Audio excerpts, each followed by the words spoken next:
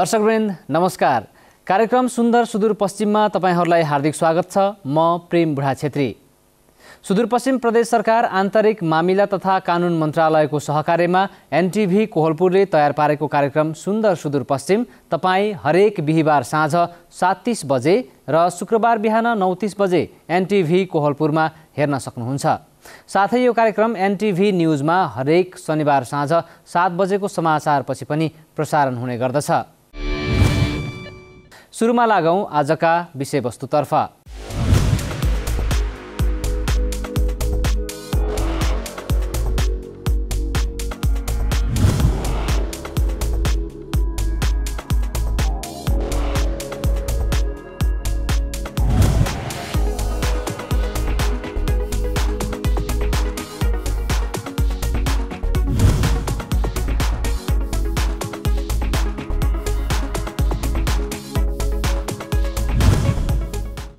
राज्य पुनर्संरचना भई संवैधानिक रूपमा व्यवस्था भएअनुसार नै तीन तहका सरकारले हाल विधि नीति निर्देशक सिद्धान्तमा आधारित रही प्राप्त अधिकार बाँडफाँड गरी काम गरिरहेका छन्। प्रत्यायोजित अधिकार अनुसार सुदूरपश्चिम प्रदेश सरकारले आफूलाई जनताका आवश्यकतालाई लक्षित गरी सेवामा समर्पित गरिरहेको छ। सुदूरपश्चिमवासीले सरकारसँग धेरै अपेक्षा र भरोसा गरेका छन्। तर कतिपय सुविधा जनतामाझ पुर्याउन भने नीति वा कानुन नहुँदा अप्ठ्यारो परेको सरकारले महसुस गरेको छ। विधि र प्रक्रिया पुर्याउनु पर्ने अवस्थामा केही जटिलता पनि उत्पन्न भएका छन्। प्रदेश मातहतमा रहनुपर्ने कतिपय कार्यालयहरू नीति विधिकै अभावमा अहिले पनि सङ्घीयताको अभ्यासबाट वञ्चित भएका छन्। दर्शकवृन्द यही कुरा प्रहरी सङ्गठनमा पनि लागू भएको छ। तर अब भने सुदूरपश्चिम प्रदेश सरकारले प्रदेश प्रहरी सम्बन्धी ऐन नीति तथा रणनीति ल्याउने तयारी गरेको छ। प्रदेश सरकारको मातहतमा प्रदेश प्रहरी नभएका कारण शान्ति सुरक्षा कायम गर्न काममा समस्या हुँदै आएकोले अहिले प्रदेश सरकारले यो नीति ल्याउने तयारी गरिरहेको हो।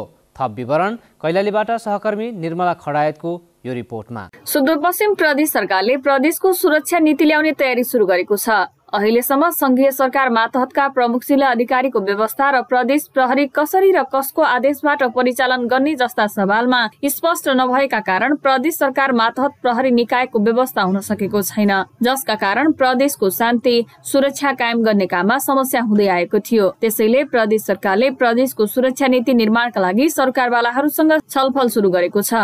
प्रदेशको आन्तरिक मामिला तथा कानून मन्त्रालयले गत असार सत्र गते प्रदेश सभा बैठकमा प्रदेश प्रहरी सम्बन्धी व्यवस्था गर्न बनेको विधेयकको मर्सौदा दर्ता गराइसकेको छ। त्यस्तै छिट्टै प्रादेशिक सुरक्षा नीति तथा रणनीति मर्स्यौदा दर्ता गर्ने तयारी पनि गरिरहेको प्रदेश सरकारका प्रवक्ता समेत रहनुभएका आन्तरिक मामिला तथा कानून मन्त्री कुणा जोशीले बताउनु भयो। थिङ्क ग्लोबल्ली एक्ट लोकल्ली भन्छन् हामीले। हाम्रो संविधानलाई अगाडि राखेर हाम्रा राष्ट्रिय सुरक्षा नीतिलाई अगाडि राखेर हाम्रा सबै खालका कुराहरूलाई हाम्रा विद्यमान कानुनहरूलाई अगाडि राखेर हाम्रा अनुभवहरूलाई अगाडि राखेर यो प्रदेशमा के गर्दा बेटर हुन्छ र त्यो हामीले गराइ हाम्रो गराइले गर्दाखेरि पूर्वको एक नम्बर कसरी सुरक्षित हुन्छ भन्ने कुराहरू वास्तवमा भन्यो भने यो क्षेत्रको एउटा कुनै अभाव र गरिबीले काठमाडौँको सिंहदरबार असुरक्षित हुन सक्ने अवस्था सिर्जना हुन्छ। त्यसैले गर्दाखेरि हामीले हाम्रो क्षेत्रलाई हाम्रो प्रदेशलाई यहाँका नागरिकहरूलाई कसरी सुरक्षित राख्ने यो हाम्रो यो यो पोलिसीको चाहिँ अन्तिम अभिष्ट हो। त्यस कारणले गर्दाखेरि सबैले यही तरिकाले बुझ्नु भएको छ भन्ने कुराहरू मलाई लाग्दछ। अर्को कुरा हाम्रा विकासहरूमा हुने खालको जुन चाहिँ हामीले वैदेशिक धेरैले वैदेशिक यात्रा गरेका छौँ धेरै चाहिँ उन्नत मुलुकहरूले गरेका अभ्यासहरू। कुनै योजना निर्माण हुँदाखेरि कुनै आयोजना सञ्चालन हुँदाखेरि त्यसको सम्झौता मितिको कहिले भयो त्यसको निर्माण कम्पनी कुन हो त्यसको सुरुवात कहिले भयो त्यसको इन्जिन अथवा समापन कहिले हुन्छ भन्ने खालको कुराहरू बगाइदा चाहिँ डिस्प्ले गरिराखेका हुन्छ। त्यो मितिमा समापन भएन भने त्यसको कारण खोजिन्छ त्यस पछाडि चाहिँ त्यसलाई दिनुपर्ने पनिसमेन्टहरू अथवा थप के दिनुपर्ने हो त्यो कुराहरू गरिन्छ। हाम्रो चाहिँ तुइनबाट जयसिंह धामी महाकालीमा खस्छन्।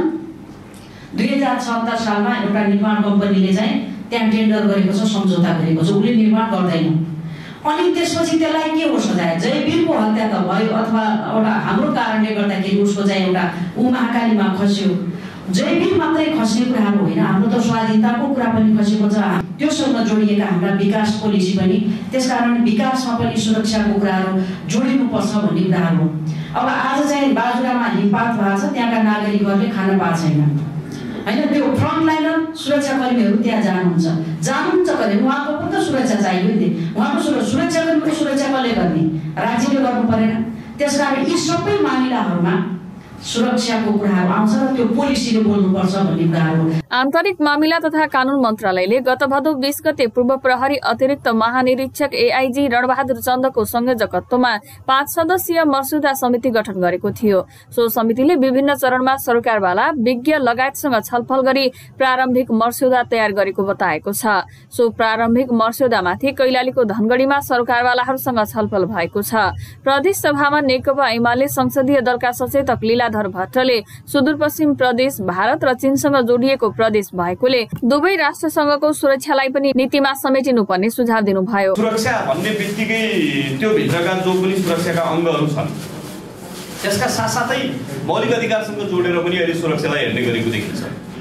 खाद्य सुरक्षालाई पनि अहिले सुरक्षा भन्छ मौलिक तपाईँको स्वास्थ्यको सुरक्षालाई पनि सुरक्षाको रूपमा देखिन्छ तपाईँको वातावरणीय सुरक्षालाई पनि अहिले सुरक्षाको दृष्टिकोणले धेरै ठाउँमा जोड्दाखेरि हामीले सुरक्षा भन्ने बित्तिकै यो सैन्य र अर्धसैनिक रूपमा मात्रै बुझेका छौँ भने मानव अधिकारको दृष्टिकोणले हेर्ने हो भने सुरक्षालाई अर्को दृष्टिकोणमा पनि सुरक्षाको रूपमा यसको पनि व्याख्या गर्नु पर्ने केही समय देखिन्छ। पनि प्रदेश प्रहरी ऐन हामी छलफल गर्दैछौँ तर प्रहरी समायोजन भइसकेको छैन।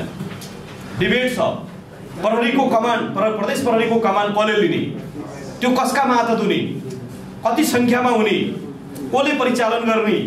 प्रमुख जिल्ला अधिकारी परिचालन गर्ने मो मोडल के हुने? प्रदेशले त्यसलाई परिचालनै गर्नु नसक्ने हो भने प्रदेशको जो प्रमुख हुने हो त्यसले कहाँसम्म गर्न सक्छ भन्ने खालका जो डिबेट चलेका छन् अहिले त्यो अझै पनि पूर्णता पाइसकेको अवस्था छैन। तैपनि हामी विधेयकले कमतीकम त्यहाँसम्म छलफल त गरिराखौँ। त्यो कुन भोलि गाह्रो हुन्छ त्यहाँसम्मको लागि पनि छलफल गरिराखौँ भनेर हामी पनि छलफल गर्दैछौँ। अनौपचारिक क्षेत्र सेवा केन्द्र इन्सेक सुदूरपश्चिम प्रदेशका संयोजक खडगराज जोशीले अहिले गैर सरकारी संघ संस्थाका नाममा पनि आर्थिक अनियमितता बढ्दै गइरहेकोले तिनको पनि निगरानीको कुरा प्रदेश सरकारको सुरक्षा नीतिमा समेट्न सुझाव दिनुभयो। हाम्रो मौलिक हकको व्यवस्था जो भएको छ संविधान उत्कृष्ट संविधान हामीले भनेका छौँ। यो विश्वमै यति धेरै चाहिने मौलिक हक भएको संविधान कमै हुन्छ। त भन्दाखेरि यसको कार्यान्वयन चाहिँ मा समस्या देखियो। र अहिले पनि मलाई लाग्छ हरेक नागरिकले उसको नागरिक जीवन राजनीतिक जीवन आर्थिक सामाजिक र सांस्कृतिक जीवनमा सुरक्षा खोज्या। यानि कि अहिले प्रहरीले चाहिँ मलाई लठी लाठीचार्ज नगरोस् अथवा गऱ्यो भने मैले के गर्ने भन्ने मात्रै सुरक्षा होइन राम्रो ल्याउनु भएको छ पृष्ठभूमिमा कुराहरू।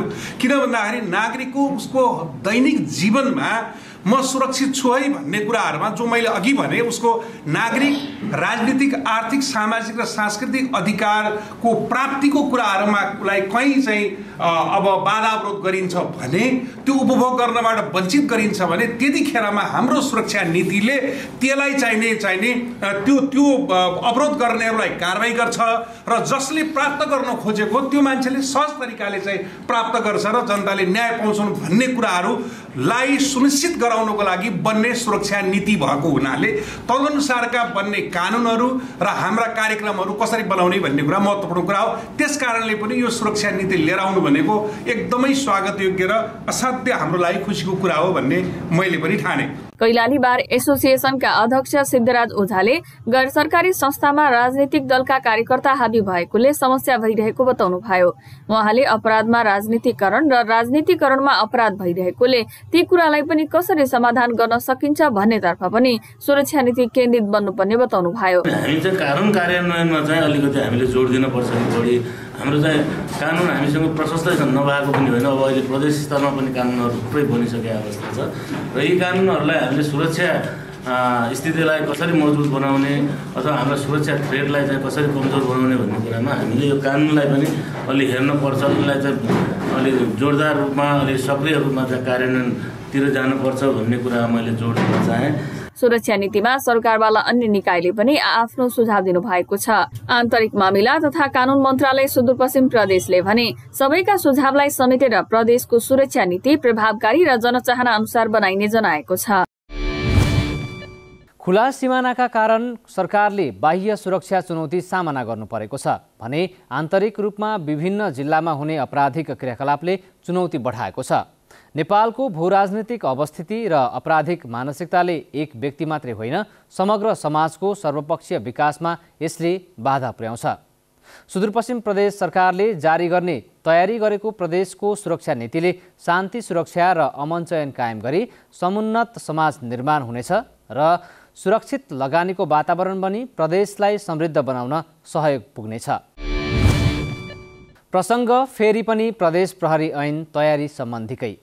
आन्तरिक मामिला तथा कानुन मन्त्रालय सुदूरपश्चिम प्रदेशले प्रदेश प्रहरी सम्बन्धी ऐन नीति तथा रणनीति ल्याउने तयारी गरेको छ। नीति कार्यान्वयनको चरणमा गए समस्या उत्पन्न नहोस् भन्नका लागि मन्त्रालयले छलफल तथा राय सुझाव लिने कामलाई महत्त्व दिएको छ। मन्त्रालयले तयार पारेको प्रदेश सुरक्षा नीतिको प्रारम्भिक मस्यौदामा प्रदेश सरकार मातहतका विभिन्न मन्त्रालयका सचिवहरूले पनि आआफ्नो सुझाव दिनुभएको छ। कस्ता आए त सुझाव यसबारे थप चर्चाका लागि सहकर्मी निर्मला खडायत। प्रदेशको सुरक्षा व्यवस्था मजबुत बनाउन सुदूरपश्चिम प्रदेशको आन्तरिक मामिला तथा कानून मन्त्रालयले प्रदेशको सुरक्षा नीति निर्माणको तयारी थालेको छ। जसका लागि मन्त्रालयले प्रदेश सुरक्षा नीतिको प्रारम्भिक मर्सौदा तयार पारिसकेको छ।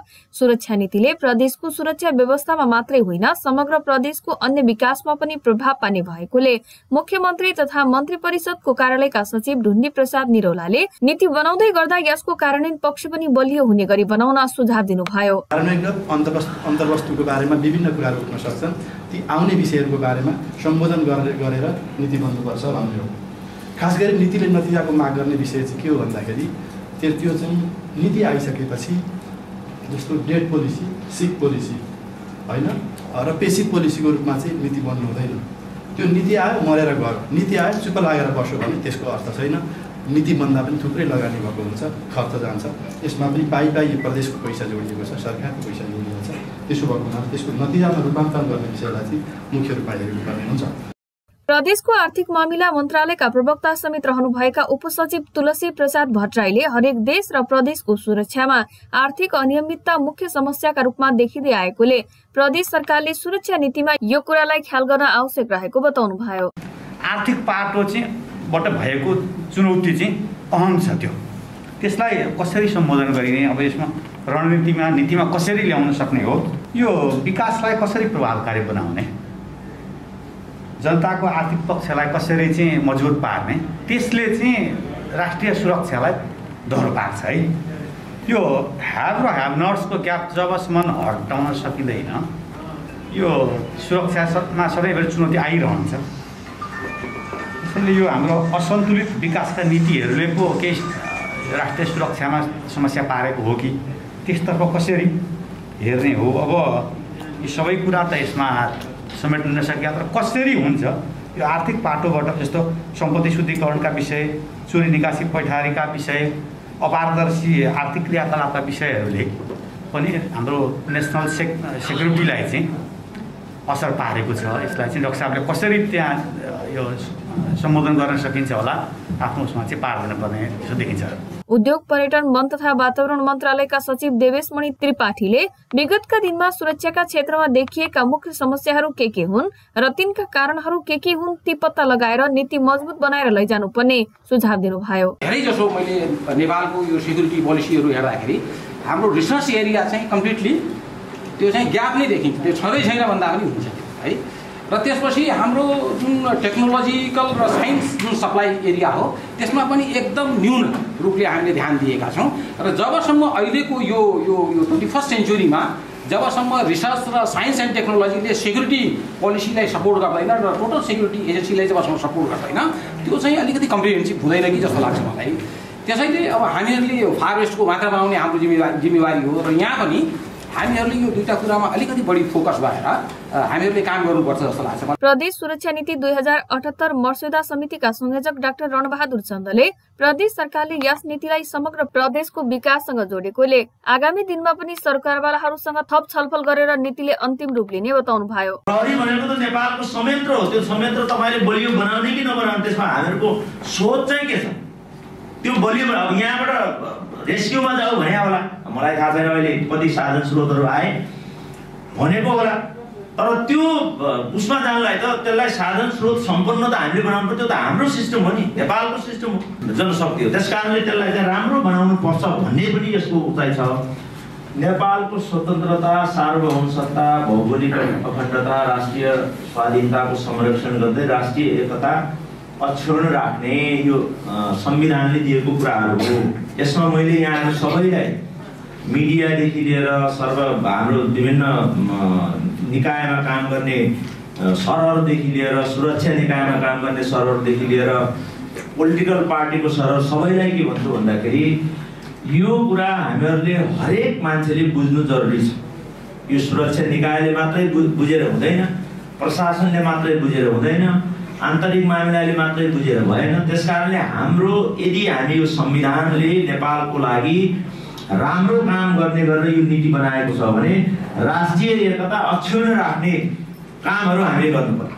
आन्तरिक मामिला तथा कानून मन्त्रालय सुदूरपश्चिम प्रदेशले भने प्रदेशभित्र सबै प्रकृतिका खतरा र जोखिमलाई सम्बोधन हुने गरी नागरिकको विश्वसनीयता स्थापित गर्नमा यो नीतिले महत्वपूर्ण भूमिका निर्वाह गर्ने विश्वास लिएको जनाएको छ। यसले प्रदेशभित्र सुशासनको वातावरण कायम राख्नमा पनि मद्दत गर्ने विश्वास लिएको छ। सुरक्षा नीतिले प्रदेशको सुरक्षा व्यवस्थामा मात्र नभई नागरिकको आर्थिक सामाजिक सांस्कृतिक तथा अन्य पक्षको विकासमा गुणात्मक प्रभाव पार्ने भएकाले पनि सुदूरपश्चिम प्रदेश सरकार यस नीतिलाई लिएर थप संवेदनशील बनेको छ। बनाइएका नीति उत्कृष्ट भएर मात्रै हुँदैन त्यसलाई कार्यान्वयन तहमा लैजाँदा बहुपक्षीय हित र व्यवहारिक बनाउन पनि जरुरी हुन्छ। हाल भइरहेका घनीभूत छलफलले प्रदेश सुरक्षा नीति प्रभावकारी हुनेमा आशा गर्न सकिन्छ। अब प्रदेश सुरक्षा मामिलासँग जोडिएको अर्को प्रसङ्ग। विभिन्न आपराधिक घटनामा संलग्न भई सजाय काटिरहेका कैदीहरूका पनि निश्चित आवश्यकता र अधिकार हुन्छन्। समय परिस्थिति परिवेश र आवेगका कारण उत्पन्न आपराधिक मनोवृत्ति अनियन्त्रित हुँदा घटेका घटनामा सजाय पाएकाहरू कैदी जीवन बिताइरहेका छन्। सुदूरपश्चिम सरकारले प्रदेशका विभिन्न जिल्लाका कारागार व्यवस्थापन गरी कैदीहरूमा सकारात्मक मनोविज्ञान जगाउने प्रयास गरेको छ। सहकर्मी सुभाष नेपालीले जिल्ला कारागार डोटीमा प्रदेश सरकारले गरेको कामको विवरण पठाएका छन्। सुदूरपश्चिम प्रदेश सरकारको सहयोगमा जिल्ला कारागार डोटीको छाना मर्मत गरिएको छ। राणाकालीन समयमा निर्माण गरिएको कारागार जीर्ण बन्दै गएपछि कारागारमा कैदीबन्दी जीवन व्यतीत गरिरहेका कैदीबन्दीहरूले कष्टकर जीवन काट्दै आइरहेको कुरालाई मध्यनजर गर्दै छाना मर्मत गरिएको आन्तरिक मामिला तथा कानुन मन्त्री पूर्णा जोशीले बताउनु भएको छ। कारागार भनेको विशेष गरिकन सङ्घ संस्थाहरू हुन्। तथापि प्रदेशले आफ्नो प्रदेशभित्रका नागरिकहरू गल्ती गरेर अथवा नगरेर विभिन्न अभियोगहरूमा कारागारभित्र हुनुहुन्छ र त कारागारभित्र प्राकृतिक विपद आयो भने सबैभन्दा पहिला बढी प्रभावित हुने क्षेत्र भनेको बाहिर भाग्न नपाउने मान्छे नै पर्छ भनेर मैले यो आर्थिक वर्षबाट कारागार सुधारको कार्यक्रमहरू लिएका छु र नौवटै कारागारहरूलाई सुधारको निमित्त थोरै बजेट लगानी गरेर त्यहाँभित्र रहेका कैदीबन्दीहरूलाई सिपमूलक तालिमको माध्यमबाट कारागारलाई चाहिँ सुधार गर्ने र कारागारभित्र रहेका निष्क्रिय जिन्दगीहरूलाई सक्रिय बनाउने काम गरिरहेको छु। कारागारले आफ्नो आवश्यकता के छ त्यो अनुसार गरिरहेको छ। कारागारहरूभित्र क्षमताभन्दा बढी कैदीबन्दीहरू हुनुहुन्छ। त्यसको व्यवस्थापनको निमित्त धेरै कारागारहरूले त्यसरी व्यवस्थापन गरेका छन् भने कारागारको भौतिक पूर्वाधार निर्माण गर्ने कुराहरूको पनि कारागारहरूले गरेका छन्। जसरी डोटी जिल्लाले चाहिँ पुरानो एक एक सय चार वर्षभन्दा पुरानो चाहिँ कारागारलाई अ, छाना मर्मत गरेर अगाडि बढाएको छ। कसैले चाहिँ त्यहाँभित्रका सिलिङ लगायतका ठाउँहरूलाई चाहिँ पुनर्निर्माण गरिरहेछन् कसैले कोठाहरू व्यवस्थापन गरिरहेछन् आफ्नो आवश्यकतालाई मध्यनजर गरेर प्राथमिकताको आधार तय गरेर हामीले दिएको थोरै सहयोगहरूलाई उहाँहरूले परिचालन गरिराख्नु भएको छ। नौवटै जिल्लामा सिपमूलक तालिमका कार्यक्रमहरू नौवटै जिल्लामा हामीले सञ्चालन गरेका छौँ। भित्रका कैदीबन्दीहरूको आवश्यकता अनुसार उहाँहरूले जे माग गर्नुभयो हामीले दिएको पुँजीबाट एउटा थोरै सानो पुँजीबाट त्यसको कच्चा पदार्थ सङ्कलन गर्ने तालिमका कार्यक्रमहरू आयोजना गर्ने कामहरू चाहिँ कारागारले विभिन्न तरिकाले गरिराख्नु भएको छ र समग्र रूपमा सबै कारागारहरूमा हामीले चाहिँ कैदीबन्दीहरूलाई सिपमूलक तालिमहरू दिइराखेका छौँ ताकि उहाँहरूको कैदी जीवन एउटा व्यतीत भइसकेपछि बाहिर आए पनि उहाँहरूको जीवन सहज होस् र भित्रै पनि आय आर्जनका गरेर उहाँहरूले आफ्नो आश्रित परिवारहरूलाई थोरै आर्थिक सहयोग गर्न सक्नुहोस् भनेर हामीले चाहिँ त्यो गरिराखेका छौँ र उहाँहरूलाई चाहिँ थप एउटा चाहिँ गलत सोच्ने गलत गर्ने कुराहरू भन्दा पनि एउटा प्रायश्चितको जीवन पनि बिताउन पाउने र उहाँहरूले आय आर्जन पनि गर्न पाउने तरिकाले हामीले चाहिँ काम गरिरहेको छौँ। कारागार जीर्ण बन्दै गएपछि वर्षामा छाना चुहिएर बस्नमा समस्या हुनुका साथै खाद्यान्न लत्ता कपडा भिज्ने गरेको र सुदूरपश्चिम प्रदेश सरकारको आर्थिक सहयोगमा छाना मर्मत गरिएपछि उक्त समस्याको समाधान भएको कैदीबन्दीहरूले बताएका छन्। कारागार सङ्घीय सरकार अन्तर्गतको कार्यालय भए पनि जीर्ण कारागारको अवस्था र भोग्नु परेको अवस्थालाई मध्यनजर गर्दै सुदूरपश्चिम प्रदेश सरकारको बाह्र लाखको सहयोगमा छाना मर्मतले ठुलो सहयोग पुगेको डोटीका प्रमुख जिल्ला अधिकारी शङ्कर विष्टले बताउनुभयो। वास्तवमा नेपालभरिकै जति पनि कारागारहरू छन् र तीमा कारागारहरूमा भएका कैदी बन्दीहरू लगभग क्षमताभन्दा बढी राख्नु परेको स्थिति छ र यो डोटी जिल्लाको सन्दर्भको कुरो गर्दाखेरि यहाँ पनि हामी कहाँ धेरै पुरानो अत्यन्त पुरानो राणाकालीन अवस्थाको कारागार चाहिँ हामीसँग थियो अत्यन्त जीर्ण अवस्थामा थियो।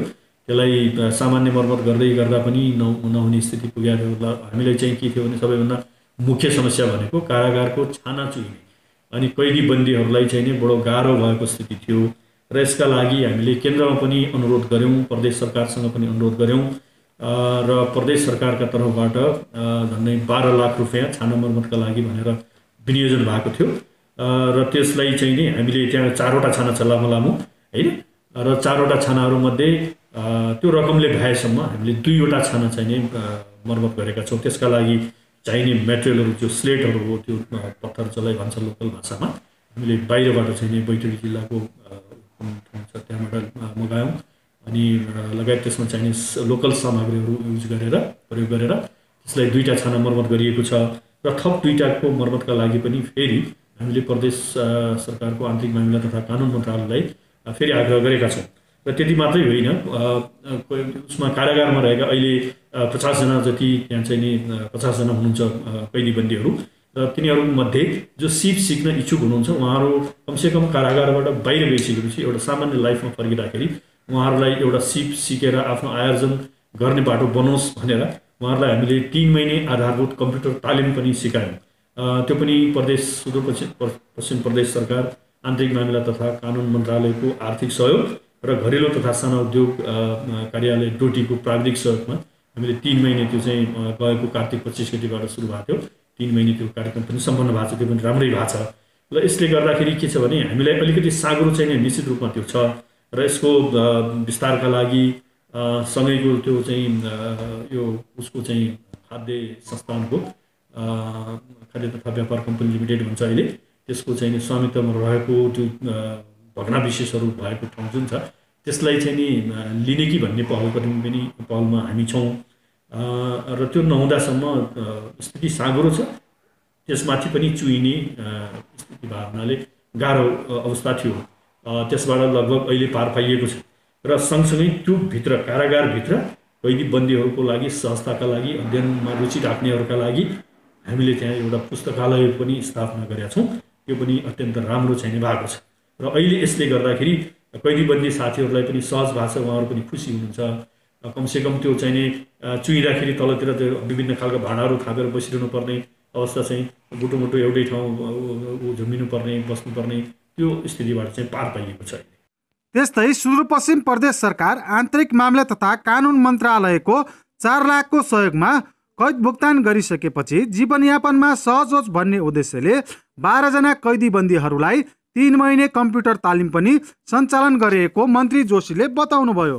हाल डोटी जिल्ला कारागारमा पचासजना कैदीबन्दीहरू रहेका छन्। सुदूरपश्चिम प्रदेश सरकार अन्तर्गत रहेको आन्तरिक मामिला तथा कानुन मन्त्रालयको कारागार सुधार नीतिले प्रदेशभरि संरचना अभावमा समस्या झेल्दै आइरहेका कैदीबन्दीहरूको समस्या समाधान हुने अपेक्षा गरिएको छ।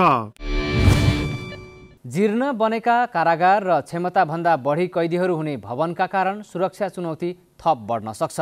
यसले समग्र प्रदेशको शान्ति भङ्ग गर्ने जोखिम पनि रहन्छ। त्यसैले पनि घटना घटिसकेपछिको सतर्कताभन्दा त्यसअघि अप्नाइएको सावधानी र पूर्व तयारीले क्षति न्यूनीकरणमा महत्त्व राख्दछ। अब अर्को विषय। दार्चुला जिल्लाको मालिका अर्जुन गाउँपालिकामा रहेको श्रीमहल ऐतिहासिक धरोहर हो। पर्याप्त पर्यटकीय सम्भावना बोकेको यस प्राचीनकालीन महत्त्वको सम्पदा संरक्षणमा सुदूरपश्चिम प्रदेश सरकारले सक्रियता देखाएको छ। वर्षौँदेखि भग्नावशेषको रूपमा रहेको यो महलको संरक्षणमा हाल भइरहेको काम समेटेर सहकर्मी कृष्ण धामीले दार्चुलाबाट पठाएको यो सामग्री हेरौँ। दार्चुला जिल्लाको मालिकार्जुन गाउँपालिका वडा नम्बर छ उकुमा रहेको श्री महलको संरक्षण सम्वर्धनको काम भइरहेको छ। शताब्दीौँ पुरानो उकुश्री महलको स्थापना कहिले भएको हो कुनै यकिन जानकारी छैन। तर बाइसे चौबिसे राज्यमा नेपाल विभाजित भएको बेला उकु राज्यका पाल राजाले उक्त महल निर्माण गरेको भन्ने भनाइ छ। उकु महलको बारेमा जानकारी दिँदै स्थानीय केशर सिंह थापा। दरबार हो भनेर भन्छन् यसको थाहा त हामीलाई पनि छैन। यस्तै देख्यौँ हामीले यस्तै छ पनि। अब यसको सुधार चाहिँ गर्नु सरकारले अति आवश्यक छ। वर्षौँदेखि भग्नावशेषको रूपमा रहेको यो महलको अहिले संरक्षण सम्वर्धन तथा प्रचार प्रसार र उत्खननको लागि पहल कदमी भइरहेको छ। दुई हजार चौहत्तर सालमा स्थानीय सरकार गठन भए पश्चात स्थानीय सरकार प्रदेश सरकार तथा सङ्घीय सरकारबाट बजेट विनियोजन भई भग्नावशेषमा पर्खाल लगाउने कार्य सम्पन्न भएको बताउँदै वडा नम्बर छका वडाध्यक्ष गोपाल सिंह धामी। प्रदेशले पनि सहयोग गर्यो सङ्घले पनि सहयोग गर्यो र अहिले हाम्रो यहाँ यो प्रदेशको र सङ्घको स्थानीयको लगाएर हाम्रो यो श्रीमहलको बाउन्ड्री वाल चाहिँ पुरा भएको छ। र अब यी जो हामीले बाउन्ड्री वाल बनाएका छन् यसमा चाहिँ नै यी भग्ना विशेषहरू छजाएर कर्मिक रूपमा छजाएर राख्ने हिसाब छ पुरातत्व विभागबाट उगु भग्नावशेष उत्खननका लागि पहल कदमी गरिएको छ तर काम भने सुरु भइसकेको छैन। भग्नावशेषमा यत्रतत्र छरिएर रहेका मूर्तिहरूलाई सजाएर राख्न चारैतिर पर्खाल र मूर्ति राख्ने ठाउँ बनाइएको छ। संरक्षण गरिएपछि श्री महलले आफ्नो पुरानो मौलिकता जोगाउनेछ। यसले आफ्नो महत्त्व झल्काउने मात्रै होइन प्राचीन सम्पदाको प्रचार प्रसार गरी पर्यटन प्रवर्धन मार्फत स्थानीयको अवस्था परिवर्तन गर्न सक्छ। आन्तरिक पर्यटनलाई विस्तार गरी आर्थिक लाभ लिने अवसर यसले दिन सक्छ। प्रदेश सरकारले केन्द्र र पालिका सरकारसँग समन्वय गरी पुरातात्विक महत्त्वको सम्पदा संरक्षणमा गरेको प्रयासले अन्तत स्थानीयलाई नै फाइदा हुनेछ। दर्शकवृन्द सुदूरपश्चिम प्रदेश सरकार आन्तरिक मामिला तथा कानुन मन्त्रालयसँगको सहकार्यमा एनटिभी कोहलपुरले निर्माण तथा प्रसारण गर्दै आएको कार्यक्रम सुन्दर सुदूरपश्चिमको अब भने हामी अन्त्यमा छौँ। आजका लागि कार्यक्रम सुन्दर सुदूरपश्चिम यति नै। अर्को हप्ता नयाँ विषयवस्तुसहित उपस्थित हुने नै छौँ। कार्यक्रम उत्पादन टिमका सबै सहकर्मीसँगै मलाई पनि बिदा दिनुहोस्। नमस्कार।